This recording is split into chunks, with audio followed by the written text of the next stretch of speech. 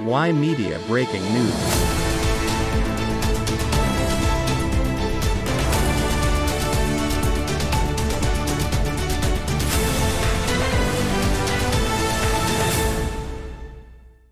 Myron Thailand Stone, main sponsor for Y Media's coverage on IPL 2023. In today's IPL match, Mumbai Indians played against Sunrisers Hyderabad. Batting first, Mumbai Indians scored 192 for the loss of 5 wickets, but Sunrisers Hyderabad could not go beyond 178 and Mumbai Indians won the match by 14 runs. Let's take a look at the points table. At the top rank is Rajasthan Royals, followed by Lucknow. On the third rank is Chennai Super Kings, then Gujarat Titans, and on the fifth is Punjab. Y Media Breaking News.